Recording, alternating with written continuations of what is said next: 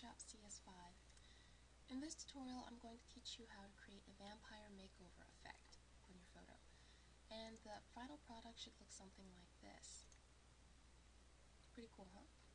Okay, so what I'm going to do is open up the original photo. And I'm, the first step I'm going to do is create a new layer.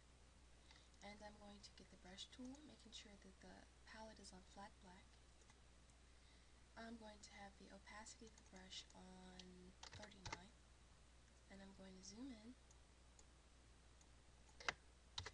400 and I'm just going to paint over the eyes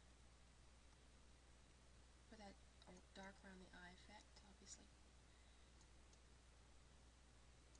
And it's good to have it on the um, excuse me soft um, um, fuzz type of brush tool because um, you can layer it up better and it looks more like it's blending more naturally.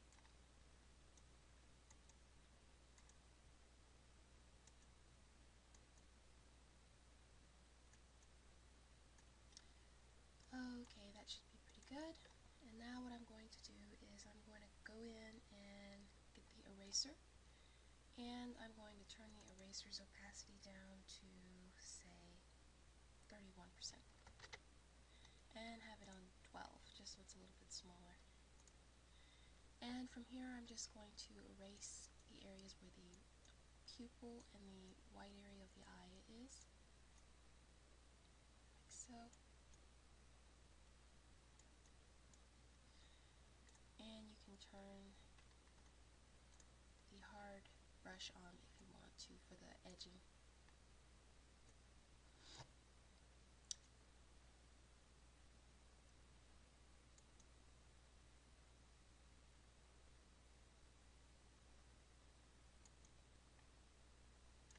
that looks pretty good, and we'll just go in and do the other eye.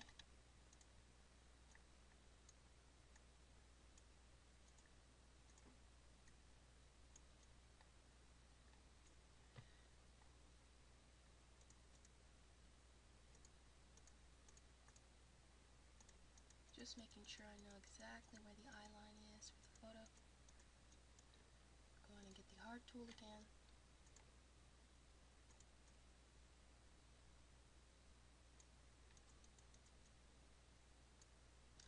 Okay, should be good. And now what I'm going to do is I'm going to make the brush, I mean the eraser tool, excuse me, large. Mm, 45 is pretty good.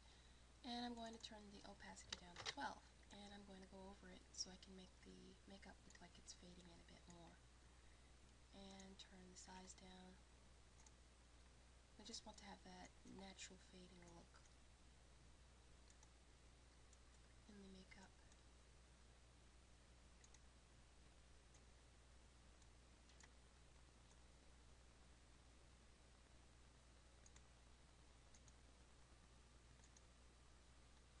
So that looks pretty good.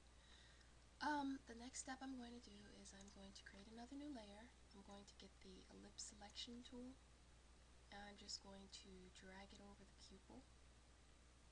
I'm going to hold the shift key down, drag over the other pupil. I think I can get better than that. Let me do this again. Alright, that's a little bit better. Now what I'm going to do is to make sure my brush is on white, grab my brush tool, make sure the opacity is on 100, get rid of the fuzz, and just paint over. Now I can deselect, get my selection tool, double click the layer. Well actually, first things first, we need to put the layer on overlay. So you have that effect here, and I'm going to, now I'm going to double click, go into bevel and emboss, and let's see, what should I do? Um, for this, I believe I did 368. Um, oops, 46. Um, ooh, I see I messed up. Let me try that again. I apologize. Um, bevel and emboss. You have to click it. I make that mistake sometimes. Okay, so I'm 368. The size on 46. Um, leaving that at 0, leaving this at 75. I can close that out. And when I deselect, you can see that the eyes look like they have more of a glowing effect, which looks pretty good. Um, let's zoom out to 100. Okay, you can see where this is going. So the next step I'm going to do is I'm going to create another new layer and zoom back in 400%, grab my brush tool, making sure that it's on white, get the fuzz, and making sure the opacity is 100%. I'm just going to paint over the lips, like so.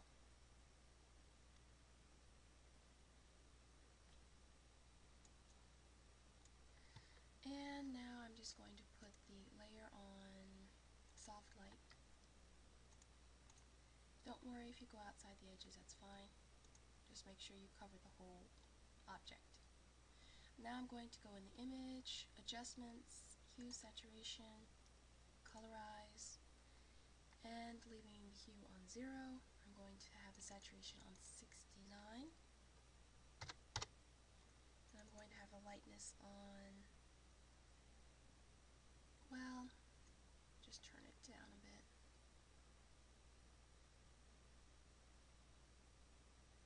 That looks pretty good for this. I just hit OK.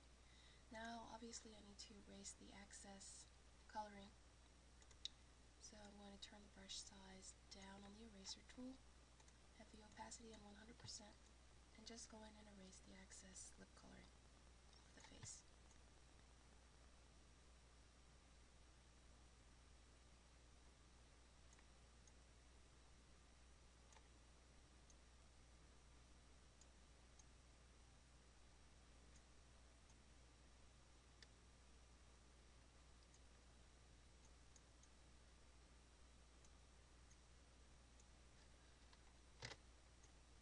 If you mess up, you can just hit Control Z and that undoes it, whatever you just did. And that looks pretty good. Get a little more from in here. Okay, that's fine. Okay, so the next step I'm going to take with the lips is I'm going to turn the opacity down to 64%. And I'm going to zoom in again and I'm going to get the burn tool, turning it down a bit, making sure I have my lips layer selected. I'm just going to go in and um, have shadows turned on on my burn tool and just burn a little bit. Play with the exposure till I'm happy with the outcome can play with these too. Sometimes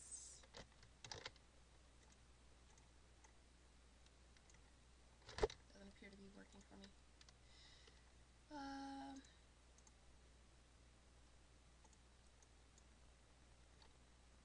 turn it up to 100% again, see if that does any difference.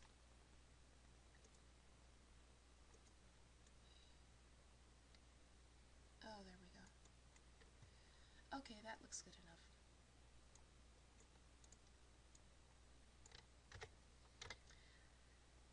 Okay, so so the next step that I'm going to take is I'm going to make sure I have my color palette on black. Select the brush tool. I'm going to make the brush size 172 and I'm going to have a new layer and making sure it's the top layer I'm just going to go ahead and color in the background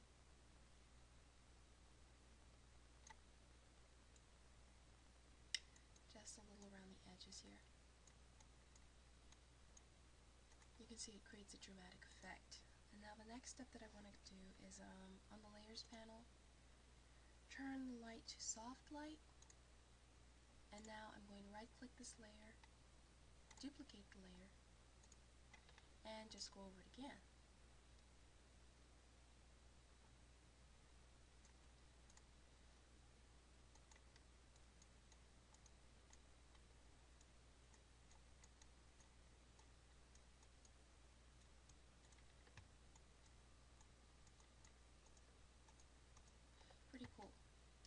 So for the skin tones, you don't have to do this for your vampire portrait, but I think it makes it look more like an undead look to go ahead and click the background layer and go to um, the sponge tool, have it on desaturate, and just wash the skin over with this desaturate.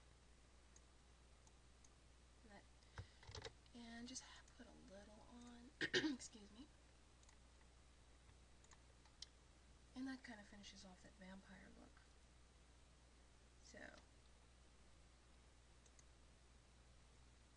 and finally, to give the photo that um, supernatural glow effect, what you want to do is go down to background, right click, and flatten image. Next you want to go up to filter, artistic, and film. From here you want to make sure the grain is on zero, and you just play with the highlighted areas and intensity till it's what you want. Something like that looks pretty good. And you just hit OK, and there's your finished product. Okay, I hope you enjoyed this tutorial. Please don't forget to comment and subscribe. Until next week, bye-bye.